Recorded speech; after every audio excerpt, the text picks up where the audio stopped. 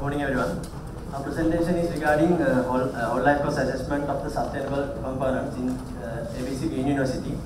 And our presentation is consisted with uh, introduction and background, aim and research objectives, uh, research questions, research methodology, research findings, conclusion and references. And uh, most of the time, the client and the contractors are considered regarding the uh, maintenance, regarding the construction cost and the initial cost, procurement cost, not about, the uh, maintenance cost and the operating cost. So that uh, to, have a good idea about the project, about the cost of the project, we have to identify the maintenance cost and the operating cost throughout the life, life cycle of the project. So uh, whole life cost is a method which is used to identify, to assess the cost which is incurred during the life cycle of the project. And uh, whole life cost is described as the total costs that are incurred or may be incurred in all stages of the product life cycle by Dell'Isola and Kearns. And uh, to, uh, to do this, we have set out some research objectives. Uh, first thing is find out the critical factors which are affecting for the increasement of the whole life cost of this, of this building and identify the remedies to reduce the maintenance and the replacement cost of the project. And under that, to identify the whole life cost of sustainable construction materials and to identify the factors impact on the increasing of project life cycle, project's whole life cost and to identify the methods to select suitable alternative materials to reduce the whole life cost of sustainable construction. And uh, through, from the uh, from our research objectives, we have set out some research questions to uh, gather data. Does the contractor conduct the deep analysis regarding the whole life cost? Will it be possible to face technical and economic issues by a local contractor? Do the, do the contractors aware about the alternative sustainable materials which are available in Sri Lanka? Uh, through, through, our, through these research questions, we have gathered our data and uh, I would like to pass on my presentation to my colleague. So to cover our research objectives as well as these research questions, we did a deep case studies. Uh, for that, we selected three type of buildings. For each type of buildings, we select uh, one sustainable project as well as one conventional project.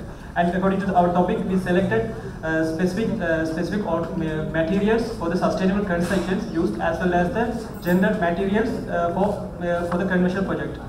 After that, we started to collect our data from the questionnaires as well as interviews.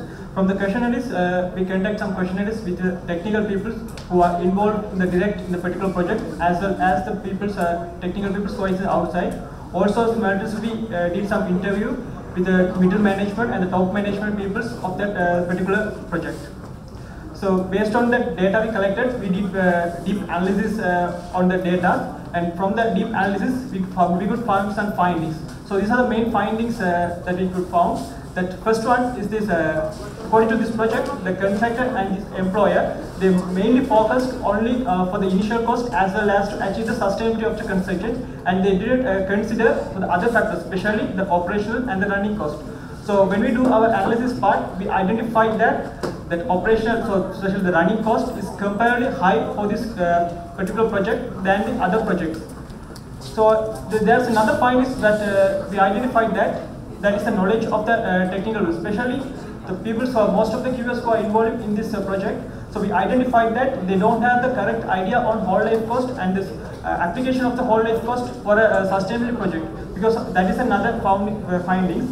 And the final one, uh, other than that, there are uh, some factors directly and indirectly affect to the life cycle cost of this sustainable project. So so according to all the collected data, we did a call comparison, whole life comparison analysis. For that, we selected some uh, specific materials, and uh, in the drawing we have mentioned that selected conventional project as well as the sustainable buildings. We did the whole life comparison for 40 years by using this annuity and this present value. So when we did a deep analysis, you can identify, uh, you can easily see that the cost for the whole life cost uh, for the sustainable buildings is very high compared to this general uh, conventional projects. So during our analysis part, these are the reasons we have identified that, that much of variations. That means, the special we have listed out in two ways, that economical and financial factors, as well as the technical and performance factors. That means, uh, the project uh, in the during the stage they they couldn't analyze these uh, economical and financial as well as the technical and performance factors. Because when you take about the Sri Lanka uh, like our country so we don't have a per uh, economic. So our, our economy is the fluctuated economy so always our discount rate interest rate and inflation taxation always changing So when you do a whole life, it we are taking for more than 40 to 5 long cast, low year forecasting. So directly these factors are effective. So before taking the whole life concept, we have to identify and include these factors. And second factor is technical and performance factors. Even the purpose uh, for the materials are same, but each and materials have different characteristics, especially their life cycles and physical and functional and economical conditions. It is, it is changing to material to material. So these both fact, these four factors are directly effect to the increasement of the whole life cost of the sustainable construction. So our one of the main objective uh, to give the uh, proposal for that uh, selected project to do uh, uh, the selection of the alternative materials. So if they did a deep analysis on this way, that means the performance factors as as the cost factor through this uh, whole life comparisons, they can go for a better decisions rather than the previous decisions. So we have did that. That means this is uh, for their according to the usage the material one that is the they use for the wall finishes. So this is we did for the 40 years whole life comparisons and this price and we have identified some other prices for the same purpose which are available in Sri Lanka based on the CIOV green building catalog. For, for that also we, uh, considering the including the all factors and we did the same uh, whole life cost comparison based on that we got a graph like this. So this graph may directly mention that that uh, the whole life concept that taken by this particular project is uh, there are some decision making problems are there. So this is the main, uh, not only for the particular project, most of the sustainable construction we identified that most of the people have giving importance to the design stage and the execution stage, especially for the during the design stage, they are giving the importance for the achieve the sustainability, especially the social, environment, economic factors, and this execution stage, initial cost and the construction cost.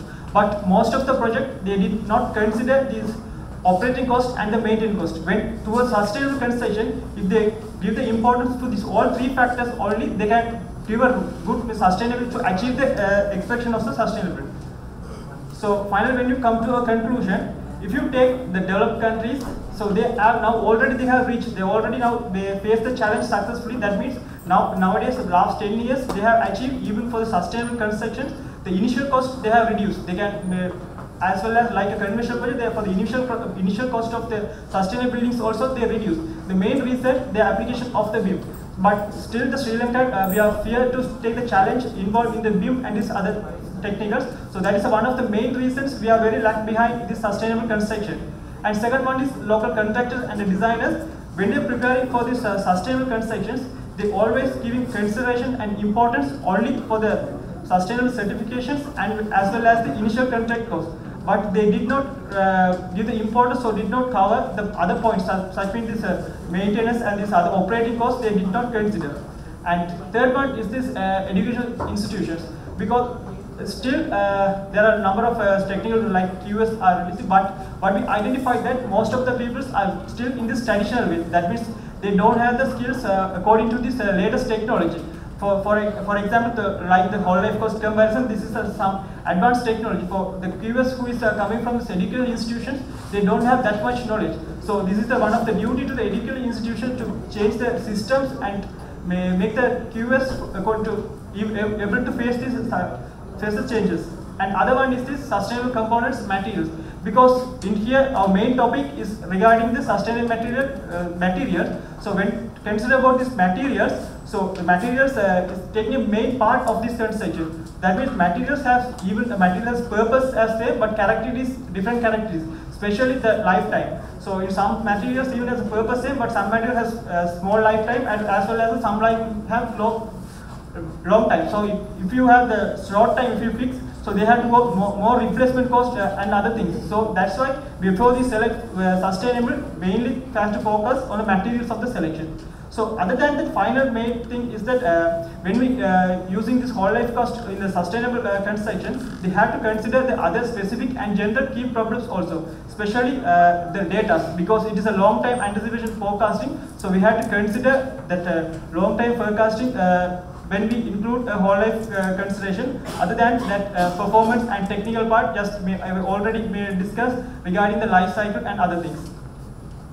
So according to that uh, we have uh, and the conclusion we have covered our the objectives and this we answered for the questions and we our problems have solved. These are the references. And finally, we give the acknowledgement uh, for our lecturer who gave this uh, idea about this whole life comparisons and as well as our lecturers who support us for to do this uh, research and the people, the technical people and others who gave us to the, uh, the questionnaires and uh, interviews.